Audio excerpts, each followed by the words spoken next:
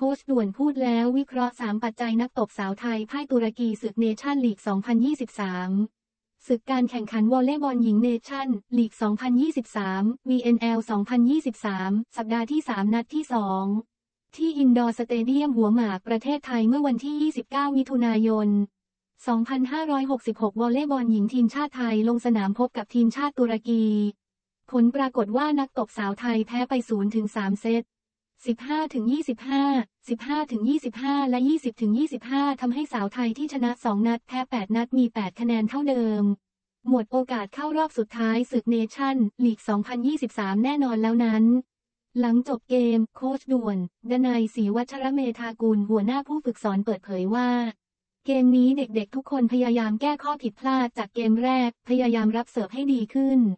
เพื่อที่จะเล่นในรูปแบบของเรา แต่ต้องยอมรับว่าตุรกีมาเล่นในสัปดาห์นี้ค่อนข้างแข็งแกร่งมาก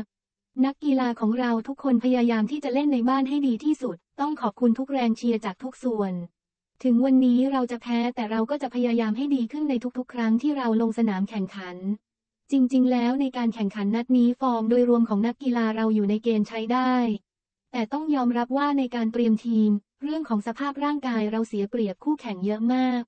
และต้องยอมรับว่าแต่ละทีมมีการพัฒนามากขึ้น ปีนี้นักกีฬาที่ไปแข่งขันในลีกต่างๆ กลับมารวมตัวกันช้าทำให้เรามีการเตรียมทีมที่น้อยมาก จากซีเกมเรามีเวลาไม่ถึงสองสัปดาห์ เราก็ต้องไปแข่งขันแล้ว ซึ่งทุกปีเรามีเวลาเตรียมร่างกายให้นักกีฬามากกว่านี้เยอะมาก นักกีฬาทุกคนรู้ว่าจะต้องใช้ร่างกายขนาดไหนในการเล่นกับนักกีฬาระดับโลก แต่เราจะไม่นำเรื่องนี้มาเป็นข้ออ้าง จะพยายามให้ดีที่สุด ส่วนเกมต่อไปที่จะต้องพบกับทีมชาติญี่ปุ่น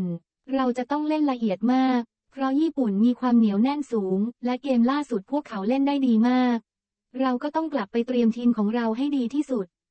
ทั้งนี้วอลเลย์บอลหญิงทีมชาติไทยมีโปรแกรมสำคัญนัดถัดไปพบกับทีมชาติญี่ปุ่นในวันเสาร์ที่ 1 กรกฎาคม 2566 ในเวลา 20นาฬิกา30 นาทีสามารถรับชมการถ่ายทอดสดได้ทางช่อง 7 HD และบักอาบูทีวี